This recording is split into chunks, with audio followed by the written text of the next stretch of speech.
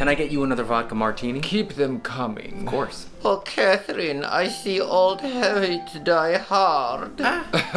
You know, Beatrice, when life gives us lemons, some of us have a lemon drop martini, or four, or five, or six. And some of us murder our ex husband's mistress, sleep with the judge to get away with it, sue our ex husband for all he's got, then start a brand new life. New us. Injected, dissected, cut through, and connected, stretched and etched to pretended perfection. But up close, it's clear there's been an overcorrection. or maybe an infection. Or a body rejection. And there's no going back now, no fix, no prescription. We all pay a price for our little addictions. well, How awkward for you. So I got a few little touch-ups. Touch ups, darling, you're 100% refurbished. I thought we were having a friendly brunch. Brunch? Brunch. You keep saying brunch. brunch. Oh, brunch. But you're just mean girls and you don't like Oh, me. Beatrice, do settle down. You're condensating. Now look, homicide, thievery, psychopathic narcissism,